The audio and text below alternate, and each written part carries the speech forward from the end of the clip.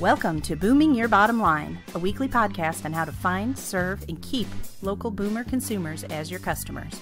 If you are a small business owner, then this podcast is for you. Hosted by Mark Hager, CEO of Age in Place Networks, publisher of AgeInPlace.com, and expert consultant in the boomer consumer industry. And Aaron Murphy, architect, certified aging in place specialist, national speaker, and published author on aging in place. These two small business owners are going to help you learn what you need to know and step by step what you need to do to grow your company through serving the rapidly growing older consumer niche. Now, get ready to supercharge your business. Hi, everybody. This is Aaron Murphy, and I'm here with my co host, Mark Hager. Thanks for tuning into this episode of Booming Your Bottom Line. So, in our last episode, Mark got to uh, drag me through the mud and teach you all a little bit about me. And uh, it's my turn to flip that script and grill him a little bit. So, this is your opportunity to learn a little bit about Mark and why it is that we're teamed up and doing this podcast for small business and I'm going to start with just giving you a little bit of bio background about Mark. So, Mark's an information technology veteran and aging in place thought leader and advocate. And he's the founder of ageinplace.com, a resource for baby boomers, older consumers, and business owners, as well as organizations to learning, learn about the aging in place movement. Mark spent the last eight years teaching people how they can utilize universal design, home remodeling, assistive technology, community based programs, financial planning, healthcare, and other products and services to continue living at home, where he and I both believe you should, for as long as we can, thus putting off that transition to a retirement setting or assisted living. Mark's the CEO of Age in Place Networks, a leading authority in the aging in place niche, and a trusted voice for both consumer and business owners in the industries associated with that aging in place movement. Mark, I've got more on you, and I could continue to fluff your feathers, but I think I'd rather have you kind of filter your bio into our conversation. So, if you don't mind, um, you know, feel free to toss in some of those other things that are make you the expert that you are. But let's just dive right in because I know that the small business owner's time is valuable. So exactly. let's just jump right into our questions. All right. Okay. All right. Well, first of all, obviously, thanks for. I don't have to thank you for being here. This is a joint venture between you and me, so you're stuck with me. But uh, let's get right into it. I know I picked a great guy to be partners with on this. So you have a real extensive background in the IT side, web development, digital marketing. How'd that turn into an aging in place niche? Well, you know, it's funny. Um, when my parents started getting close to their 70s, and I, I I started to explore ways that they could be more independent as they grow grew older. And obviously, you know, they'd bought a home and they planned on living the rest of their lives there. Uh, my my father and mother had both been ill, and I wanted them to be able to maintain their quality of life, but still uh, have everything that they needed. Now, in our situation, in my family situation, I don't live near them.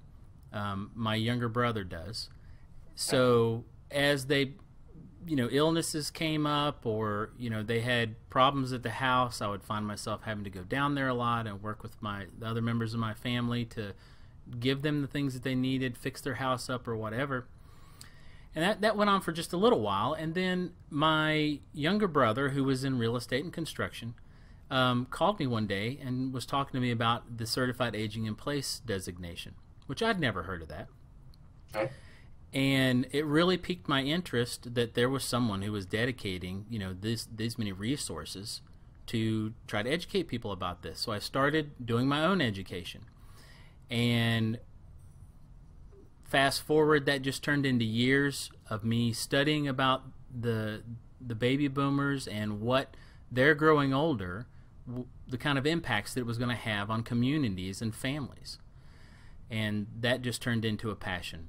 And I've spent the last you know eight years or so just educating as many people as I could about aging in place, talking to as many business owners as I could about their role and how important you know they are to their communities. Yeah, yeah. Well, and that's true in every every small town, every every major city, right? I mean, it, it takes a village, and so that's exactly. why we want to get to those professionals what is it? What'd you learn? Why is aging in place such a an attractive option for people? I know what some of the stats are from AARP about who wants to age in place, but what did you find? Well, I think the thing that probably stood out to me the most was that aging in place, although people didn't have a name for it, is kind of the de facto choice. It's the choice they don't make. It's made for them. And mainly it's because they don't give a lot of thought to what their lives are going to be like after they retire. It's not that, you know, I mean, millions of Americans and people all over the world have, you know, worked their entire lives and they've they built a nest egg up. They've they've funded their retirement accounts, and you know, lots of people in in the baby boomer generation have made those financial commitments to their future, but it's stopped there, and you have you end up having all these other things, tons of things that they don't think about, and it means that there's going to be gaps between what they planned for and what they're really going to need. And that's where I actually see a real opportunity for small businesses. You know, there are tons of places that a small business owner can step in and help, um, ways that they can add services or products as the needs in their particular community grow. They see a need, they can very quickly ramp up on a particular service to step in and not only help those people, but also add to their own bottom line. Can you give me a couple of examples where adding something to your portfolio, pick something at two different ends of the business spectrum, um, you know, whether it's driving people to doctor's appointments or cleaning out gutters, right? I mean, there's everything in between, isn't there? What are a couple of businesses that you know for sure could find huge value in adding services at the boomer level and would see that hit their bottom line? Well, I will tell you one that I have seen um, that people are beginning to pick up on, and that is transportation. Yeah. Transportation is going to be such a big deal. Oh, and yeah. when you think about it, and we'll get into more statistics and stuff later, but I mean, I, I don't want to inundate everyone with a bunch of statistics, but when we're talking about having 20 to 21 percent of the population that is over the age 65 it's not just that they're all just turned over 65. You've got 65, you've got 70, you've got 75, you've got 80, and all the kinds of health conditions in between. Everybody's different. You know, there's going and there's going to be tons and tons, millions of people who are not going to be able to drive.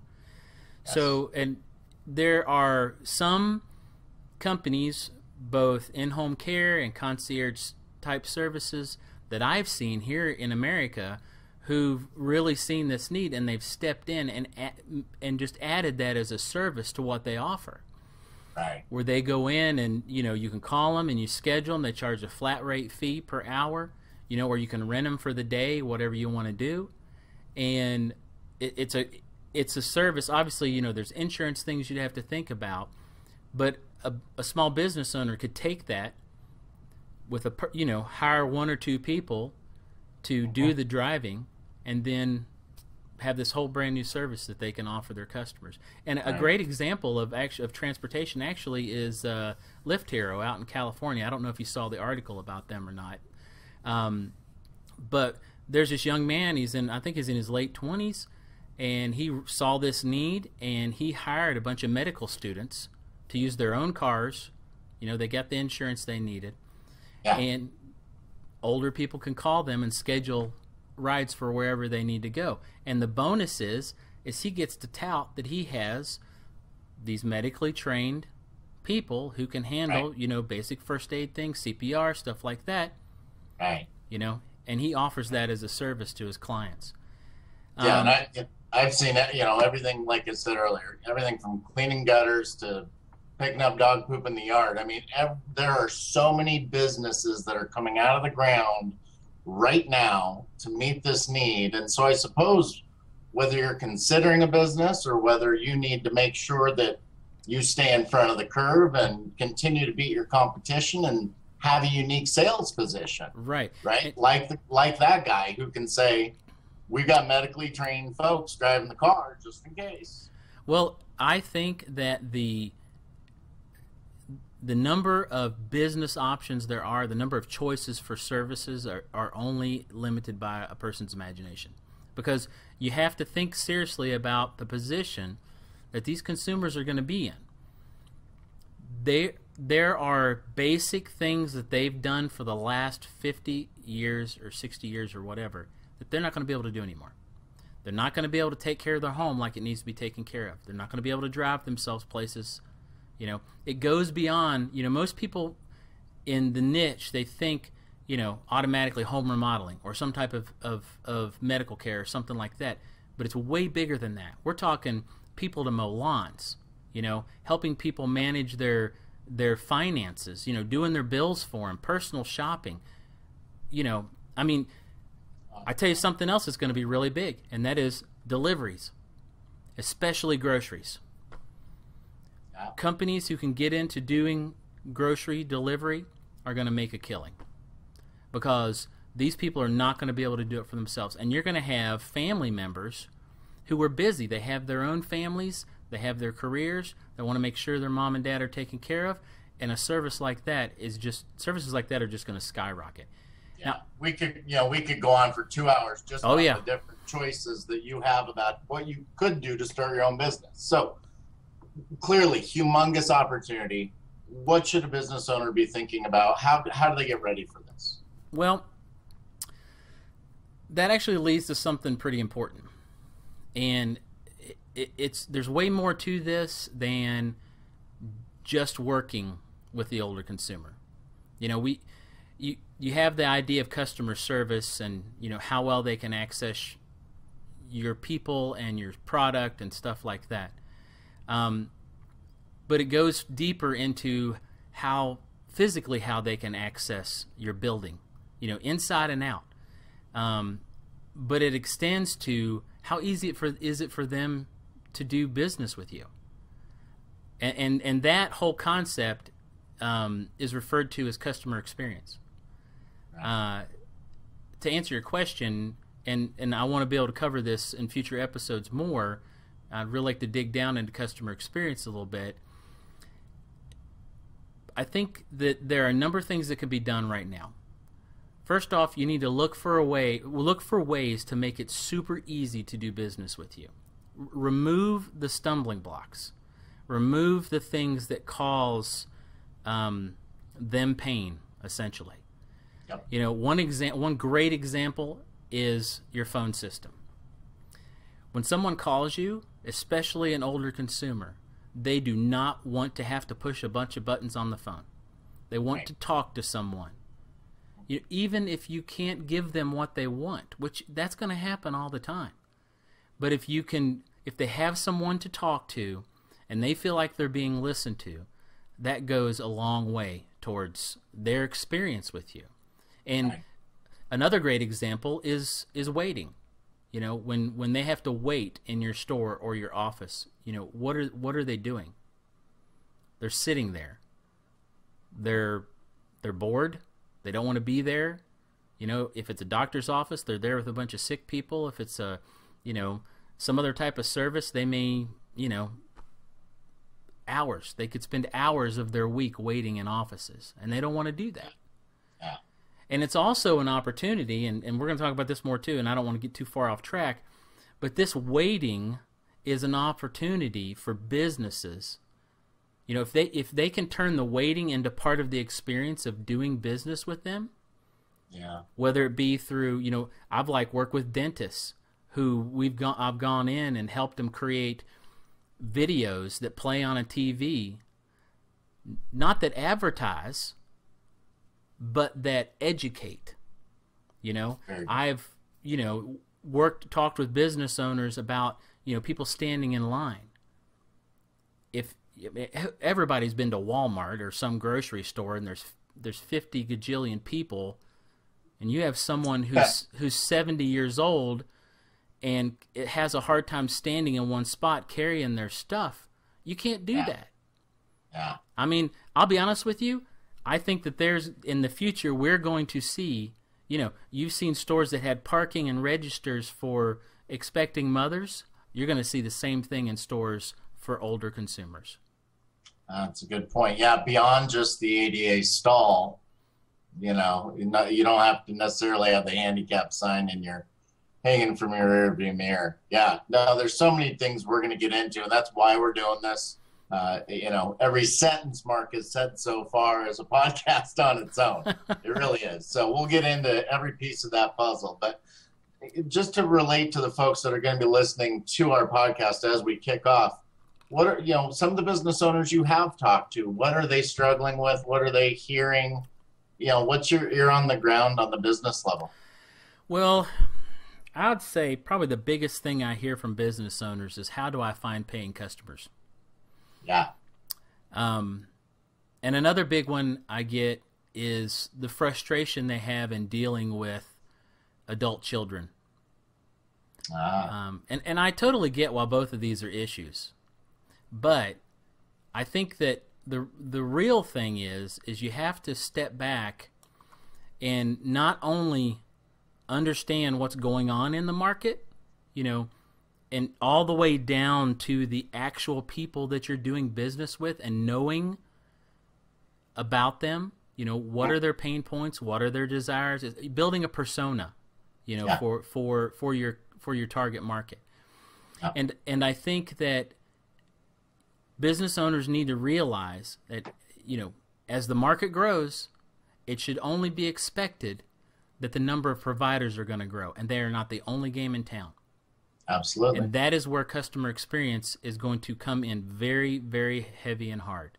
Yeah. Um, and your stance, your reaction to what you learn about your your customers, and and even these adult children that are caring for their parents, or or just even if they're just minimally involved, it's only going to get more. They're going to get more involved. Oh yeah. Your approach to that is going to define how well you succeed.